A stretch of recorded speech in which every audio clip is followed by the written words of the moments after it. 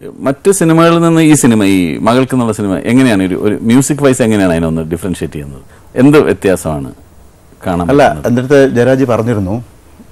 നമ്മൾ ഇതാണ് ഒരു സംഭവം. അപ്പോൾ അതിൽ വ്യത്യസ്തമായിട്ടുള്ള പാട്ടുകൾ നമ്മളൊരു കോംപ്രമൈസും വേണ്ട. അപ്പോൾ അദ്ദേഹത്തിന്റെ മനസ്സിൽ ഉള്ള മനസ്സ് അറിയ ഞാൻ എന്ന ഒരു സംഭവത്തിൽ ഉള്ള ഒരു വിജയമായിരിക്കാം അത് എനിക്ക് തോന്നുന്നത്. വേറൊന്ന് സിനിമയ്ക്ക് വേണ്ടിയാണ് ഞാൻ സംഗീതം. അതെന്റെ മനസ്സിൽ പൂർണമായിട്ടുണ്ടാവും.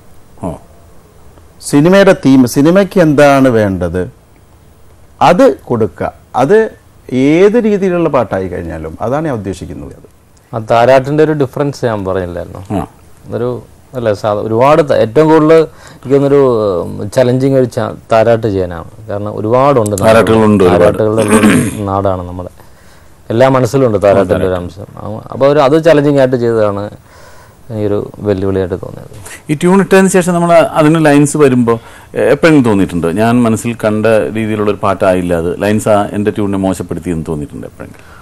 ഒരിക്കലില്ല ഒരിക്കലില്ല കാര്യം ലൈൻസിനെ നമ്മൾ മോശപ്പെടുത്താൻ ആ ഒരു രീതിയിൽ നമ്മൾ എത്തിപ്പെടില്ല. നമ്മൾ അത് കണ്ടുപിടിക്കണം. അല്ല മ്യൂസിക് ഡയറക്ടർക്ക് ഒരിക്കലും അത് അത് കറക്റ്റ് ചെയ്യാൻ പറ്റില്ല. ഈ ലൈൻ അല്ല വേണ്ടത് മാറ്റിയിട്ട് അങ്ങനെ ചെയ്യണമെന്ന് പറയാൻ പറ്റില്ല ഒരിക്കലും. ഞാൻ പറഞ്ഞിട്ടുണ്ട്. ഭാവം ഒരു ഈ എന്റെ ഒരു ഫീലിനനുസരിച്ചുള്ള ഒരു വേർഡ് ഒരു വരിയല്ല അവിടെ വന്നെങ്കിൽ. തീർച്ചയായിട്ടും. ഞാൻ സിംഗേഴ്സിനെ കൂടെ അതിനകത്ത് ഇൻവോൾവ് വയ്ക്കാം നിങ്ങൾ എത്ര കണ്ട് ശ്രദ്ധിക്കാറുണ്ട്? ഈ ഞാൻ ഈ പറയുന്ന വാക്കിന്നതാണ് ഞാൻ പറയുന്ന വാക്കിന്റെ അർത്ഥം ഇന്നതാണ്. അതിന്റെ ഭാവന അതിനകത്ത് കോൺസെൻട്രേറ്റ് ചെയ്യാൻ പറ്റാറുണ്ടോ? ചെയ്യാറുണ്ടോ?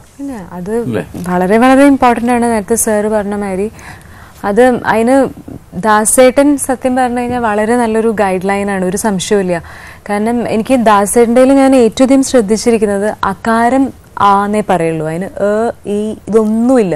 പ്യോർ അക്കാരാണ് വവൽസിൽ ഇപ്പൊ ചാഞ്ചാടി ആടി എന്നുള്ള പാട്ട് ചാഞ്ച നമ്മൾ ചിലപ്പം പാടി ലയിച്ചു വരുമ്പം ഈ ആ എ ആയിക്കൂടാന്നില്ല.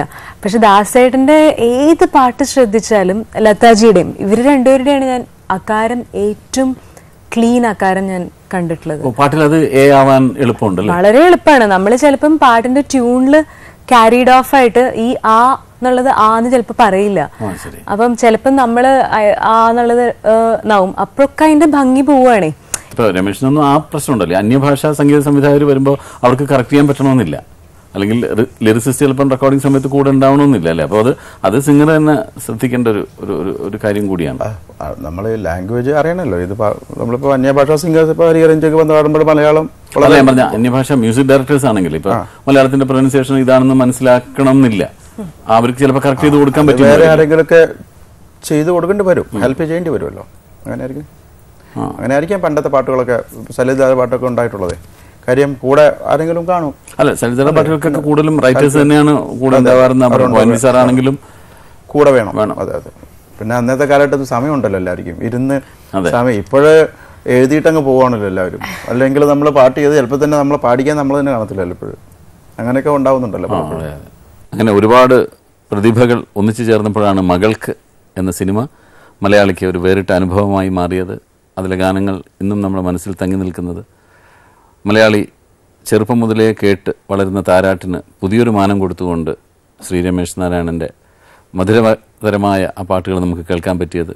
ചാഞ്ചാടിയാടി